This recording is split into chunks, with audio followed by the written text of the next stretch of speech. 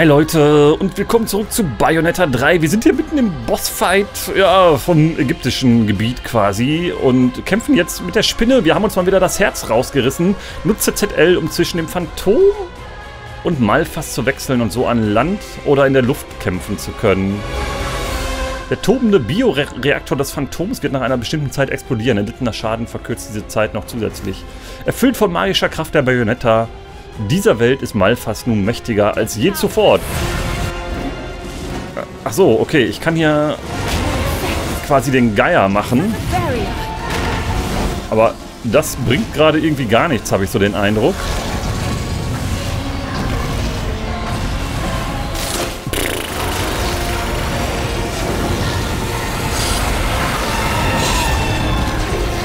Mache ich hier gerade irgendwas?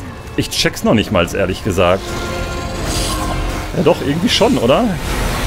Aber ich, ich check nicht so ganz warum. Eine weitere Barriere, sagt er. Oh, okay, wir haben nur eine begrenzte Zeit für diesen Bossfight. Ich kann hier irgendwas machen. Senkstrahl.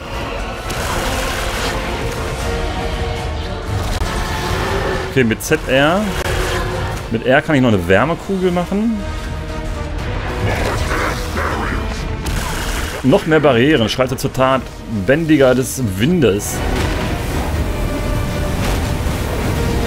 Federraketen. Clown-Angriff, X angreifen, Y Sturmwind. Ja gut, seine Moves kennen wir soweit.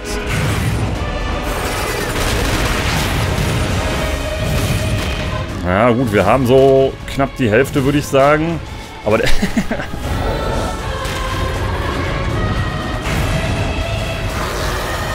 So, machen wir hier von unten noch was? Machen wir irgendwelchen Schaden hier? Ne? Also es ist schon relativ vorgegeben, wann man was zu erledigen hat. Aber hier passiert auch nicht so viel, habe ich gerade den Eindruck, ja? Ah, okay, es hat noch ein Schlag gefehlt.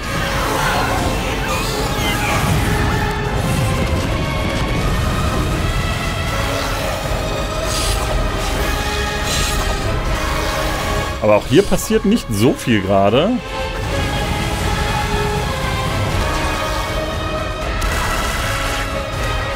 Muss ich doch was mit dem Vogel machen? Ich kann gerade nichts mit dem Vogel machen.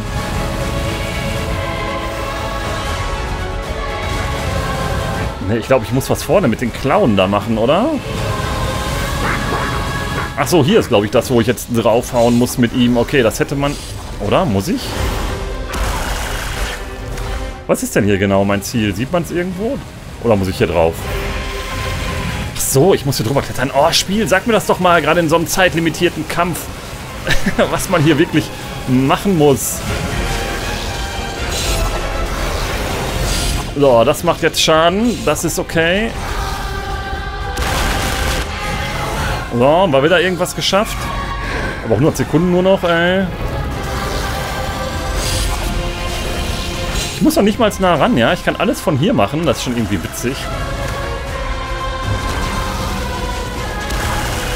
Nur super langsam, der Kampf, ne? Für so ein Bayonetta-Spiel. Ja, danke. Ach komm! Als wenn ich es irgendwie sehen würde. Oh Gott, ey.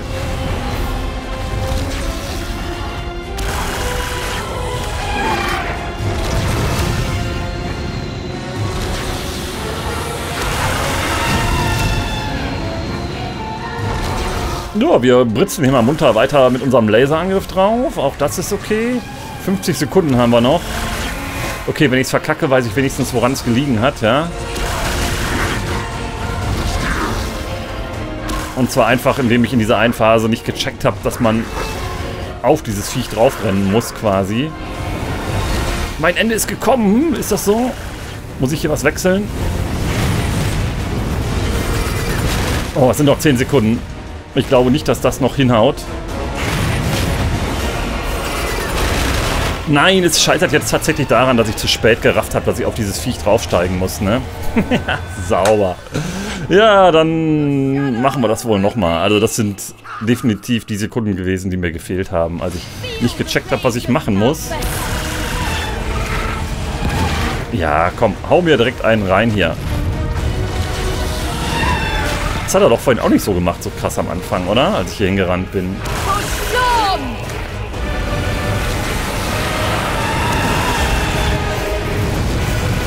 Ey, sag mal, Jungs, geht's noch? Das habt ihr doch vorhin auch nicht gemacht. Oder habe ich das nicht gemerkt?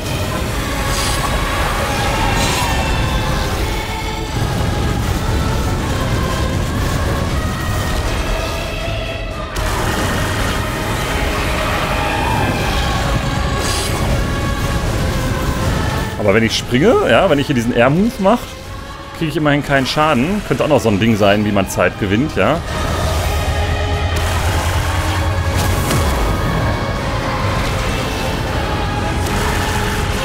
Wollte gerade sagen, muss ich immer noch was machen oder ist der Vogel dran? Ah, ich glaube, der Vogel ist dran.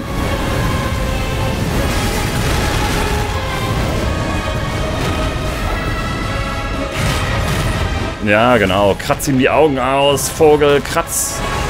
Kannst noch ein paar Raketen zwischendurch mal reinschicken.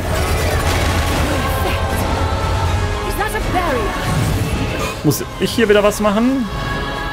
Ah, jetzt kommen die Dinger runter. Okay, diesmal weiß ich es von Anfang an direkt ein bisschen besser. Wenn sich die Spinne mal in Bewegung setzen würde, würden wir jetzt auch schneller drauf kommen. so, jetzt haben wir noch 180 Sekunden. Ich glaube, beim letzten Mal waren wir hier schon bei 60 Sekunden oder so. Kann das sein? Also das sollte eigentlich easy machbar sein. Oder meine ich das nur? Immer drauf da. So, auch das hätten wir.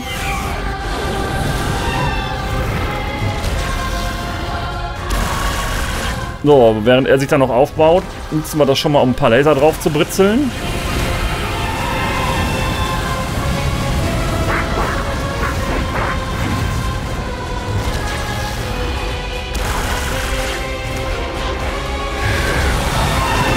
Okay, okay. Da hätte ich ein bisschen eher mal wegspringen können. Äh, ich denke, der Vogel ist wieder dran. Oder? Nö, nicht so richtig.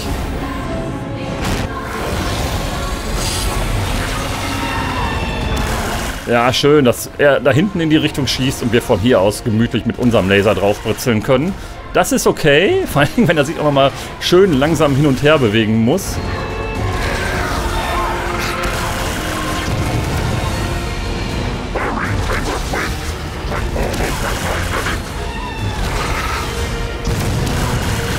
Achso, ich kann meinen Laser auch abbrechen. Ja, dann mache ich natürlich nicht allzu viel Schaden, wenn der Laser abbricht. So, der Bändiger des Windes ist wieder dran. Ja, dann bändige mal. Hier Raketen hinterher. Bam.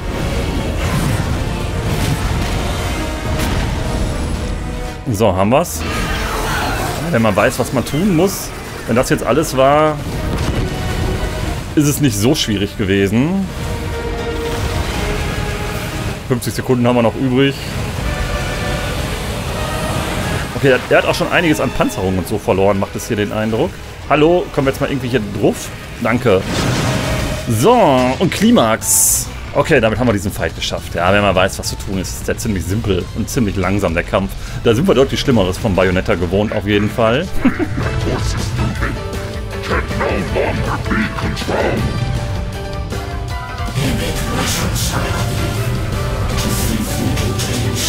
Oh! Langsam scheint er zu ahnen, was hier passiert oder was hier passieren wird. Mit ihm. Finalerweise irgendwann. Kleine Atomdruckexplosion hier über den Planeten drüber. Okay, man hätte es deutlich schneller machen können irgendwie. Naja, irgendwie haben wir es geschafft. Vielleicht mal noch irgendwie besser komboen können oder so, aber das hatte ich bis zum Schluss mit den Viechern nicht so richtig raus, wie das dann funktionieren soll.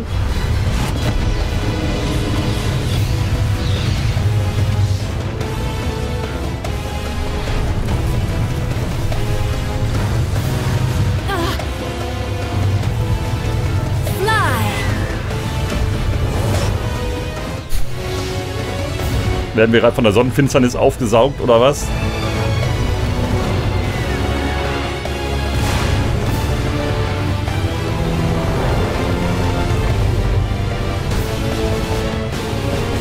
Und werden wir gerettet von unserer anderen In äh, Inkarnation oder Reinkarnation quasi.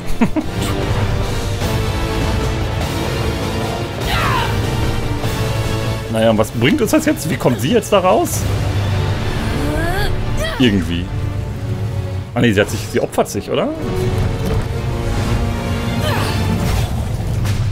Roms den Stein auch noch zersprengt.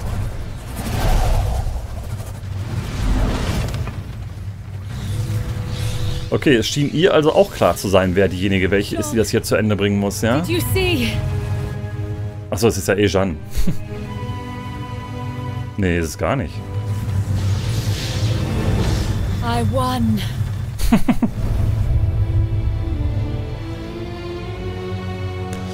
Eine Bayonetta nach der anderen verreckt hier. Aber wir können am Leben bleiben.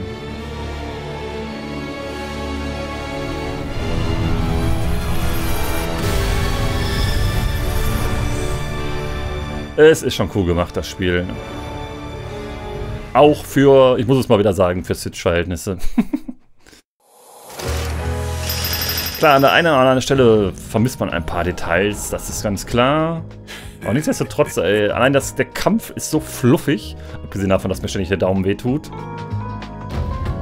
Und ich finde, es sieht cool aus. Also zumindest vom, vom, vom, vom Weltdesign und so haben sie sich schon Mühe gegeben oder das, oder das richtige Händchen bewiesen. Ne? Chaosgetriebe, endlich mal wieder eins bekommen. Und neuer Dämon unterworfen. Neue Waffe erhalten, den Frosch.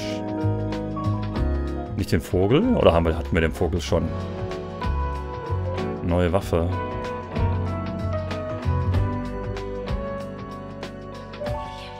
Ja, müssen wir mal im nächsten Level ausprobieren, was wir hier jetzt bekommen haben. Achso, hier ist der Vogel noch, inklusive der neuen Waffe. Okay, Frosch und Vogel haben wir in dem Level bekommen.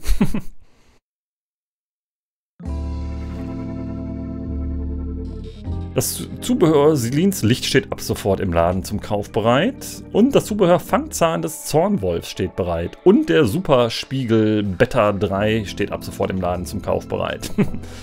Dann würde ich sagen, schatten wir hier den Gates of Hell nochmal kurz einen Besuch ab. Beziehungsweise Rodin. Also das sind die Engelsdinger. Der Superspiegel, ähm, das lässt uns dann wahrscheinlich... Nur für verschiedene Haarfarben. Ich würde sagen, das lässt uns wie Bayonetta 3 da erscheinen. Bitter 3 oder so. Geben wir mal aus, was wir haben. Aber eigentlich wollte ich hier gar nicht hin. Ich wollte hier gucken. So, Celines Licht, das sind die Sachen, die uns gerade angekündigt wurden. Nutzt Zauberkraft, um bei gegnerischen Angriffen die Hexenzeit zu aktivieren.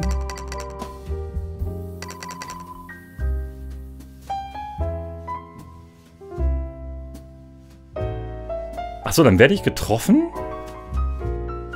Okay, es zieht auch wirklich einiges an Magie ab, aber trotzdem, ich werde getroffen und dann wird Hexenzeit ausgelöst. Boah, das scheint mir mächtig zu sein, oder? Ist ja fast auch schon so eine Art Cheat. Es ist nicht ganz so krass ähm, wie der hier unten, glaube ich. Ähm, weil da muss man wirklich gar nichts machen. Quasi macht man hier die Defensivaktion im normalen Comboing. Nutzt die Stärke vom Angriff während... Mas was ist denn Maskeraden? Achso, Maskeradenzorn ist, wenn ich R und R drücke. Ah, komm, wir gönnen uns mal Celines Licht. Mal gucken, ob wir es nutzen werden. Jetzt haben wir erstmal keine Kohle mehr für das zweite. Und ich glaube, jetzt sind wir erstmal wieder mit Jan unterwegs, ne?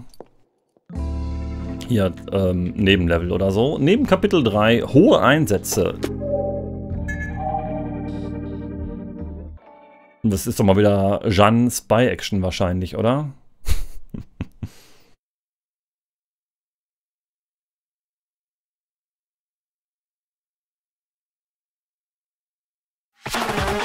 genau, wer hätte es gedacht? Infiltrate the Laboratory und find the Gird. Okay.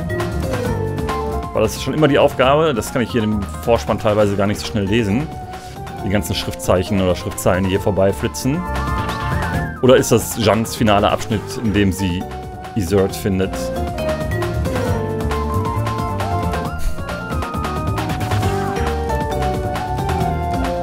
Man kann es auch nicht abbrechen, obwohl es immer das gleiche ist irgendwie. Aber ich kann mir schon vorstellen, dass es ihr finaler Abschnitt ist, in dem sie Isert findet, weil uns fehlt auch nur noch ein Chaos-Gear. Das heißt, es müsste jetzt auch die letzte Welt zumindest zum Finden des Chaos-Gears für Bayonetta anstehen. Vielleicht kommt da noch eine Welt, eine Finale, in der halt der Singularität oder was gegenübertreten. Centipede Within, ja, das kennen wir alles schon.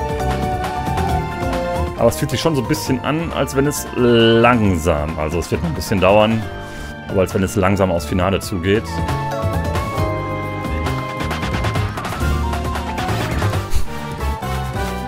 Aber diese Vorspänne hier sind schon cool gemacht für Jan. Jans Spy-Action mal wieder. He must be up ahead. I just hope he's still breathing. Okay, hier ist erstmal links-rechts angesagt. Also links-rechts ist bei ihr immer angesagt, aber man hatte normalerweise mehrere Etagen und Ebenen und sowas direkt von Anfang an gesehen. Das ist hier gerade nicht.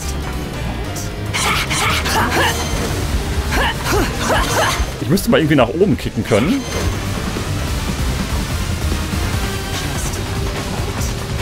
Achso, so kann man sich hier ein neues Item, Gear besorgen. Was habe ich jetzt? Na gut, ich habe nur begrenzt Schüsse zur Verfügung. Aber der Bogen ist schon cool, ne? Wann kommt der? Nach Blau immer?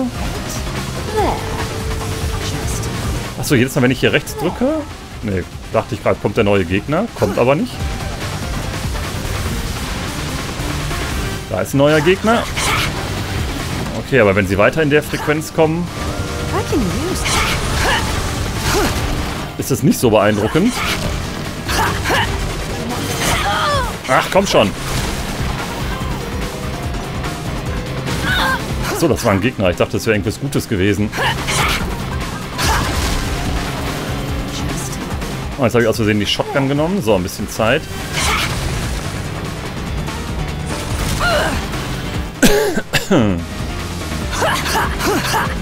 Wo ist hier die Herausforderung? Mache ich irgendwas falsch? Muss ich das hier rechts auch öfters drücken?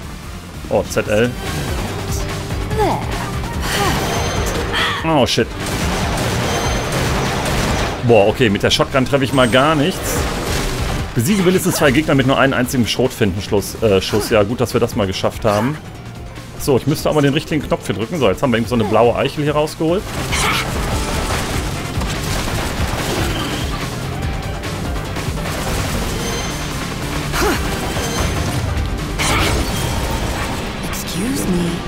Rums. Oh, was wir auch immer hier gekriegt haben, ich weiß es nicht.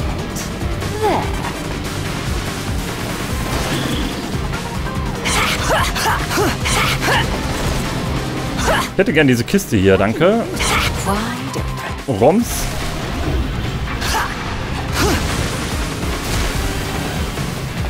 Okay, da rechts geht diese Leiste voll. Das ist mir auch noch nicht so richtig aufgefallen bis jetzt.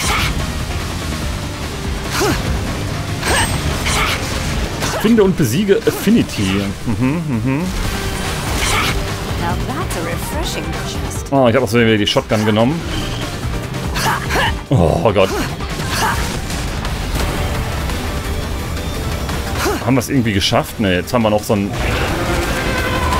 Mal wieder so einen fetten Fight hier oben.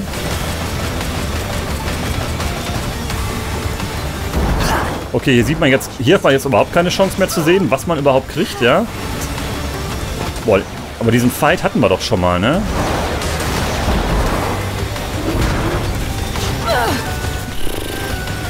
Ich weiß auch nicht gerade so richtig, was ich dem entgegenzusetzen habe oder wo ich ihn überhaupt mal so richtig treffen kann. An seinen Fäusten, oder? So, jetzt haben wir einen Raketenwerfer hier, oder wie? Oh.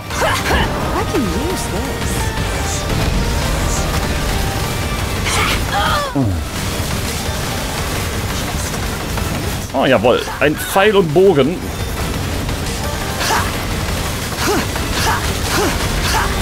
Na oh, das macht schon Schaden, wenn man ihn hier an den Händen trifft. trifft. Hat er ordentlich Schaden gemacht. Einmal richtig getroffen und ich glaube, er ist so gut wie hinüber. So, komm, mach mal was, mein Freund.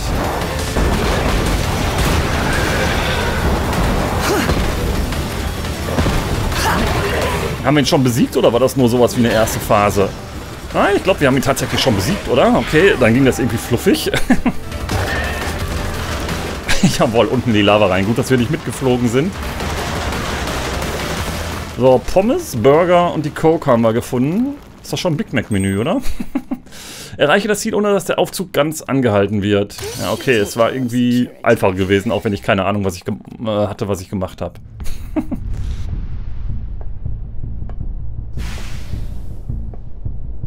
Das raff ich eigentlich jetzt erst so richtig, ne? Dass wir die ganze Zeit Johnny hier spielen, auf ihrer Mission Isert zu finden. Dr. Sigurd. A pleasure. Isert, Sigurd. Wie komme ich auf Isert? Isert ist auch irgendein Charakter in irgendeinem Videospiel, oder? Okay, das ist tatsächlich schon gewesen. Das war mal ein sehr kurzer Level mit Jan gewesen. Die anderen waren irgendwie deutlich länger gewesen. Reinplatin. Ernsthaft? Ich habe in diesem Level Reinplatin erhalten? Obwohl ich null Ahnung hatte, was ich getan habe. so, nächste Welt. Ah, man sieht hier auch langsam. Okay, es schlängelt sich hier um diesen Berg rum und dann wahrscheinlich auf diesen Berg hin, ne? Letztendlich ist der Berg, glaube ich, auch die Insel, die alle Dimensionen verbindet, ne? Und das hier sind so die Außenbereiche und wahrscheinlich kommen wir dann im Finale in diesen zentralen Bereich rein. Kapitel 10, im Schutz der Nacht. Dann schauen wir mal, was hier schon wieder abgeht.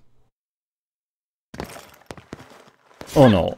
Nein, nein, nein. Ich will nicht Viola spielen. Das wird wieder kacke werden, Leute. Das kann ich euch jetzt schon sagen. Viola mit ihrem komischen Sashi.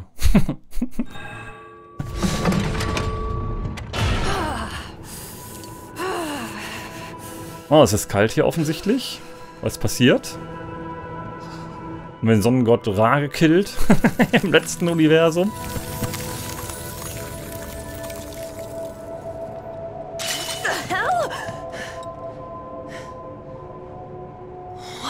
What is this? Luca!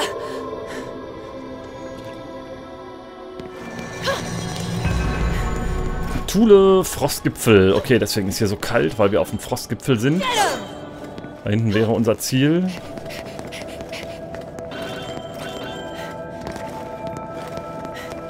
Okay, was finden wir hier? Oder ist das der Weg zu unserem Ziel hier oder zu irgendeinem Goodie? Oh, da unten ist der Schlüssel. Ja, den wollen wir eigentlich haben. Damit können wir irgendwann, wenn wir es denn finden, auch ein Tor hier aufschließen. Das ist uns, glaube ich, bisher nur einmal gelungen, weil wir den Schlüssel nie gefunden haben.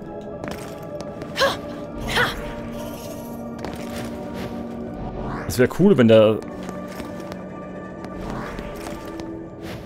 Wenn der Schlüsselloch quasi direkt hier oben wäre. Ist aber, glaube ich, nicht. Hier ist eine Herausforderungsnummer. So, ein Collectible Goodie. Oh. Ihre Zubehörslots sind frei? Ne, habe ich auch eingestellt gehabt. Ach nee, äh, das ist das Setup, was einem hier drin zur Verfügung gestellt wird, oder? Besiege alle Gegner. Eine Welle. Nur Schaden in Hexenzeit. Boah, und das mit ihr. Boah, das wird scheiße werden, Leute. Das kann ich euch jetzt schon sagen. Weil ich es mit ihr so überhaupt nicht drauf habe und schon gar nicht mit ihrem Ausweichmove. Den so zu benutzen, dass ich, dass ich Hexenzeit bekomme. Boah, das wird richtig kacke werden. Aber immerhin wieder eine großflächige Arena. Begrenzte Zeit, nur Schaden in Hexenzeit, keine Folterangriffe. Ich weiß, das hatten wir schon mal und das war richtig kacke gewesen. So, 140 Sekunden, dann komm. Ah, und wenn man es nicht gut timet, dann ist es auch schneller vorbei, als man denkt. Die Hexenzeit. Komm, mach nochmal.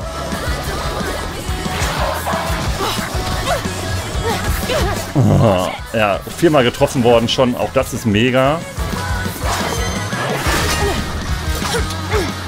Okay, viel zu früh und schon vorbei. Okay. Das wird spaßig werden. Ich meine, gut, dass ich jetzt so oft hintereinander getroffen wurde. Das war meine, eigentlich, meine eigentliche Doofheit gewesen. Aber man sieht ja schon, wie oft er irgendwelche Move macht, Moves macht, damit man in Hexenzeit kommen kann.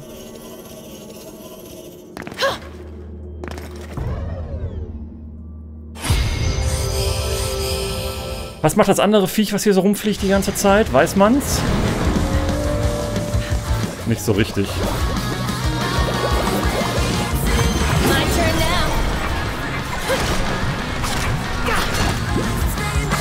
Okay, er schießt ab und zu mal auf einen, habe ich verstanden.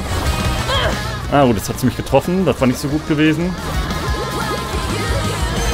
Boah, das war schneller als gedacht, diese Kugel. Ich denke, man hat es gesehen, dass ich nicht bereit war.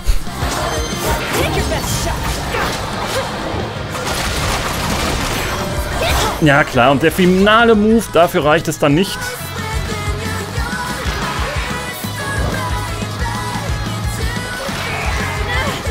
Komm ey, ernsthaft.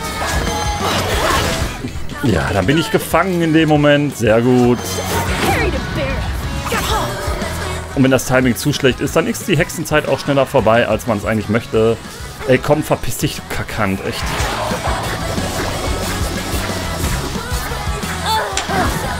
Das ist doch schon wieder mega kacke.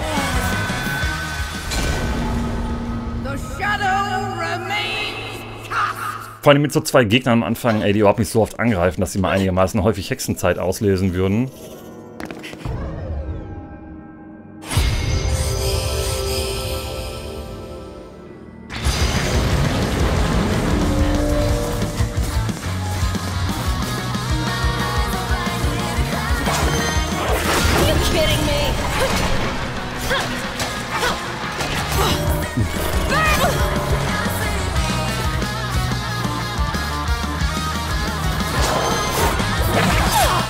Doppelmove, nice.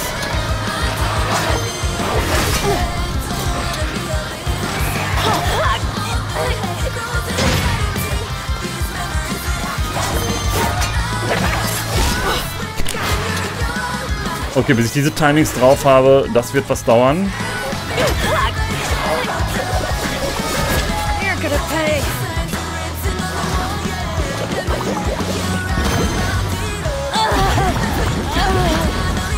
Ich übe das, glaube ich, mal ein bisschen, Leute. Das ist ja mega kacke.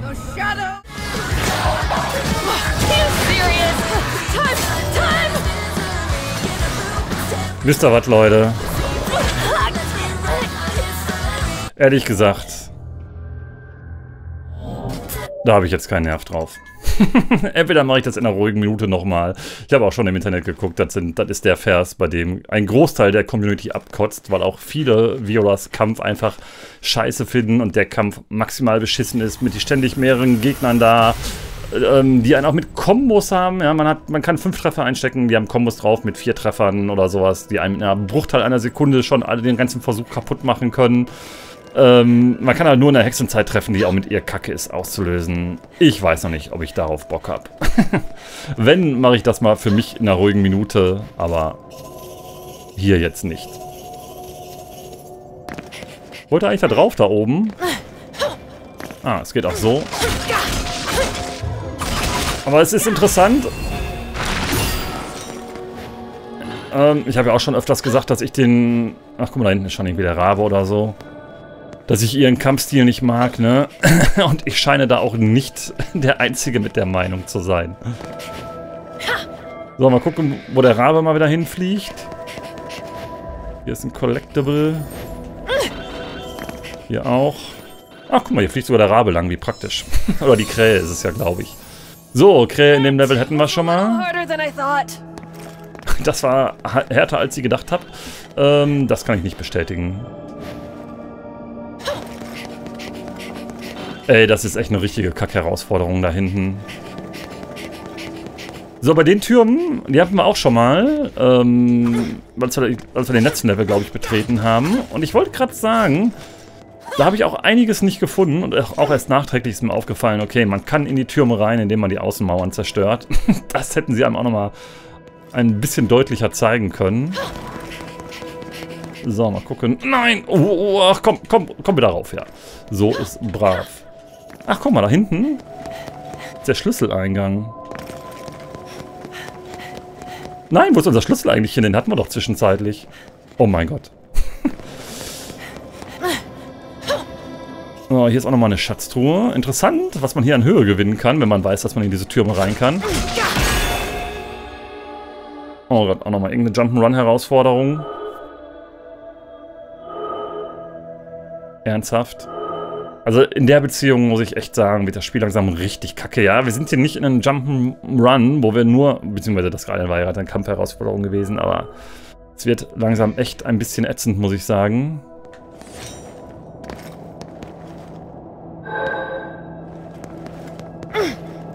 Boah, wo genau war das? Okay, immerhin werden, mit, werden wir mit einer Plattform gefahren. Aber auch da wieder, ne, die Kacke... Ey, wo hängt das Teil im dreidimensionalen Raum? Genau über mir. Okay, wir sind runtergecrashed. Ähm, ich würde sagen, wir holen uns nochmal den Schlüssel und machen erstmal das Schlüsselding.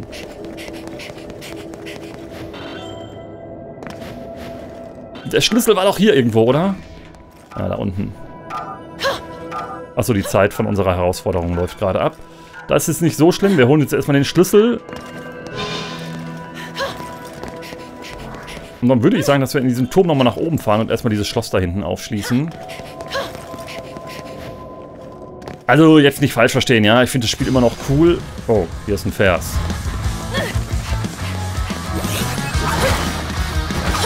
Es hat seine Qualitäten gerade, was, was den Kampfflow und so angeht. Das ist einfach cool gemacht, ne? Genau, komm mal raus. Oh, oh, oh, oh, nein, falschen Knopf zum Ausweichen. Auch das, ne? Warum ist der Ausweichknopf bei ihr ein anderer? Werde ich nie verstehen, warum das so sein muss.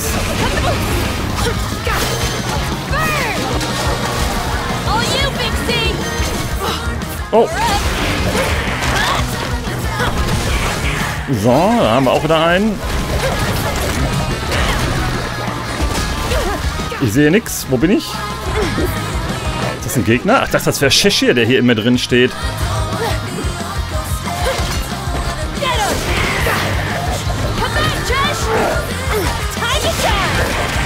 So, time to shine. das ist noch mit das Witzigste an mir, dass sie, was sie da komisches ausruft, ja, wenn er einmal in so einer Combo durchsmashen konntest.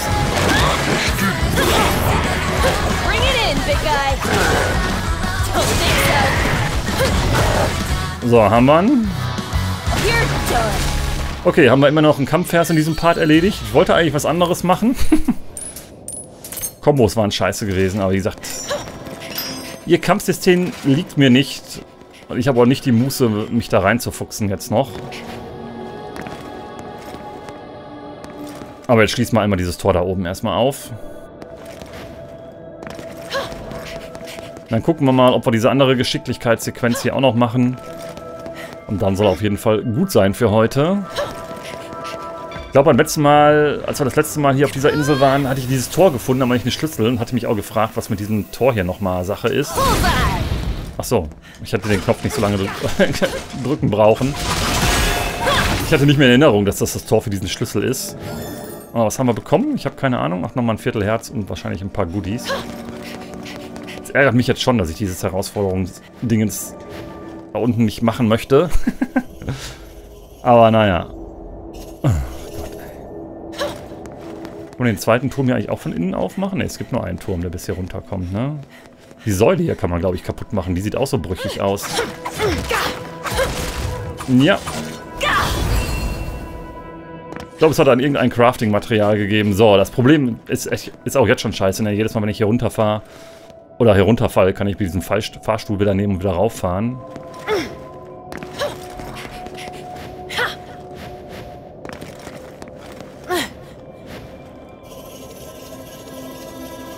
Immerhin hat sie auch so ein paar Flügelchen. Guck mal, hier oben drauf kann man auch nochmal landen. Aber diese Inselgeschichten sind ja immer sehr Exploring-lastig, ne?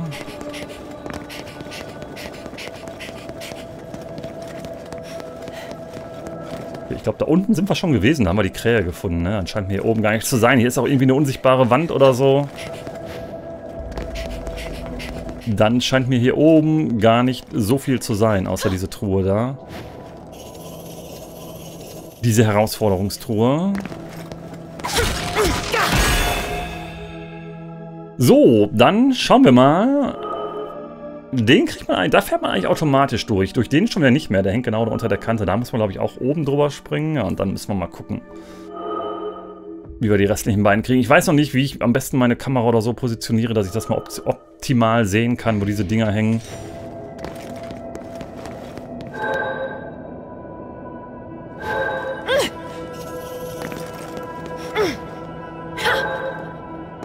Wow, war das lucky gewesen. dass wir... Dass wir genau da wieder drauf gekommen sind. Kommen wir wieder drauf? Nein, jetzt sind wir zu langsam. Okay, vier von fünf haben wir geschafft. Und dann leider die Plattform nicht. Das ist aber gut zu wissen. Ähm, dass wir das eine am besten holen, dann auf diesen Turm landen, dann das Teil auf der Brücke holen.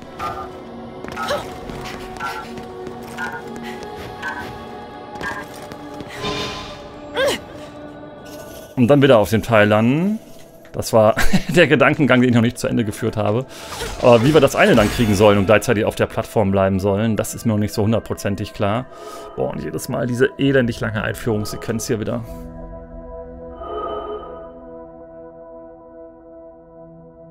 So, das ist schon relativ weit weg und das ist dann noch weiter weg. Wenn wir hier einmal von der Plattform fallen, ist es auch noch quasi hinterm Turm hier, dann ist definitiv vorbei. So, hier fahren wir noch automatisch durch.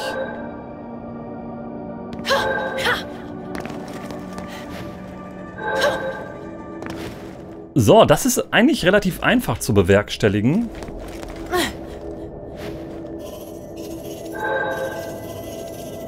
Boah, okay, ich glaube, wir haben es. Wenn wir jetzt das hier nicht verkacken. Wo das Potenzial auch nicht so klein ist, es zu verkacken.